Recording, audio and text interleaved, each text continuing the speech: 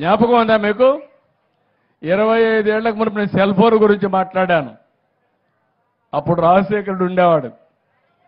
నన్ను అన్నాడు cell phone ఏంటి? భోజనం పెడుతుందని. రాజశేఖర రెడ్డి నీకు తెలియదు ఆ రోజు వస్తుంది. ఆ రోజు నేను చెప్తా సెల్ ఫోన్ వల్ల ఏమేమి లాభాలు ఉంటాయో ఆ రోజు నువ్వు తెలుసుకుంటావని చెప్పాను. కానీ లేడు ఆయన తెలుసుకోవడానికి. ఈరోజు మీరు సెల్ ఫోన్ చూశారు.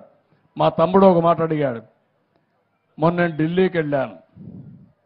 మన మంత్రి రామ్మోహన్ నాయుడు ఉన్నాడు. ఆయన సెంట్రల్లో సివిల్ ఏవియేషన్ మంత్రి. ఆయన దగ్గరనే డ్రోన్స్ అన్నీ కూడా ఆయన దూరంలో ఉన్నాయి. ఇప్పుడు మూడు విషయాలు మీరు గుర్తుపెట్టుకోవాలి. ఇప్పుడు నేను సెల్ ఫోన్ చెప్పాను మీకు. సెల్ ఫోన్ ఎత్తుకొని మీ ఆరోగ్య విషయాలు కూడా మీరు చూసుకుంటా ఉండొచ్చు. ఇప్పుడు నా దగ్గర ఈ రింగ్ ఉంది. మీరేమనుకుంటారు? ఏదో మంత్రాలు గింత్రాలు చేసి ఏదో దేవుడు రింగ్ అనుకుంటారు. కాదు ఇది. నేను రాత్రి నిద్రపోయాను. ఎంత నిద్రపోయానో చెప్తుంది ఇది. నేను రాత్రి బాడీ ఎంతవరకు మళ్ళీ రెడీ అయ్యింది నిద్రపోయిన తర్వాత చెప్తుంది. అదే మరి ఇప్పుడు ఒక సెన్సార్ వచ్చింది. మీరు తిండే తినే వల్ల మీకు ఎంతవరకు గ్లూకోజ్ లెవెల్ వస్తుందో చెప్తుంది.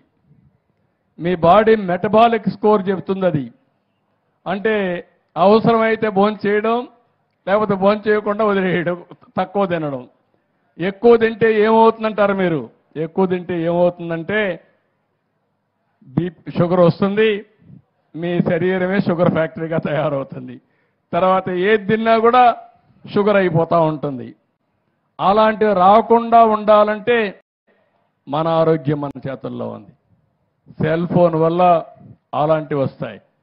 ఇంకొక పక్క చెప్పాను మీ పొలాన్ని దగ్గరికి వెళ్ళి నేరుగా సెల్ ఫోన్లో ఒక యాప్ డౌన్లోడ్ చేసుకుని తద్వారా నేరుగా మీ పొలంలో పెస్ట్ వచ్చిందా లేదా మీరే చూసుకునే పరిస్థితి వస్తుంది.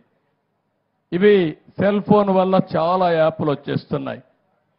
అలాంటి యాప్లన్నీ పెట్టుకుంటే ఇక్కడ మీరు చూపిస్తే క్లౌడ్కి వెళ్ళిపోయి అక్కడి నుంచి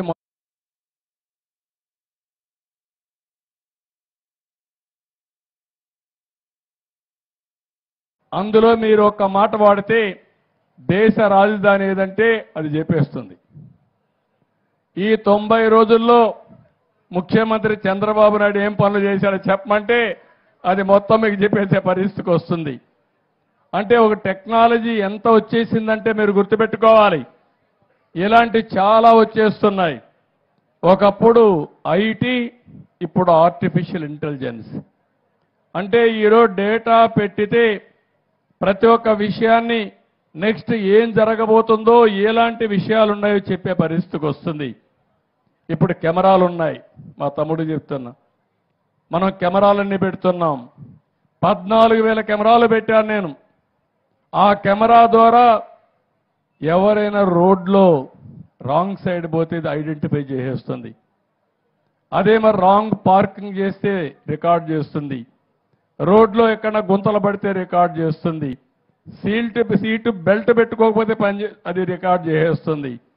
స్పీడ్ ఎక్కువ పోయి యాక్సిడెంట్లు అవుతా ఉంటే ఎక్కడికక్కడ రికార్డ్ చేసి మిమ్మల్ని ఎక్కడ నిలబెట్టక్కర్లేదు. ఫైన్ వేసి మీ ఇంటికి పంపించి ఒకటేసారి అది కూడా మీరు కట్టకపోతే ఆటోమేటిక్గా రోడ్డు మీదకి వస్తాను ఆ వెహికల్ సీజ్ చేసే అవకాశాలు ఉంటాయి. అంటే నేను ఒక్క విషయం కాదు. అది ఆ విధంగా దొంగలు. ఎవరైనా నోటబుల్ క్రిమినల్స్ ఉంటారు. రౌడీ షీటర్స్ ఉంటారు.